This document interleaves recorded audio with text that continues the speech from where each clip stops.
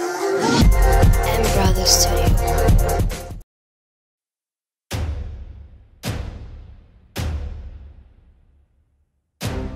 Ledwie dycha rana.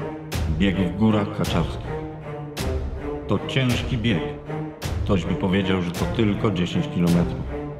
Ale wyobraź sobie, że 9 już masz za sobą, a przed tobą czeka kilometr z przewyższeniem 200 metrów. To naprawdę trzeba być kozakiem, by dobiec do mety. A ci ludzie to robią. Z uśmiechem na twarzy.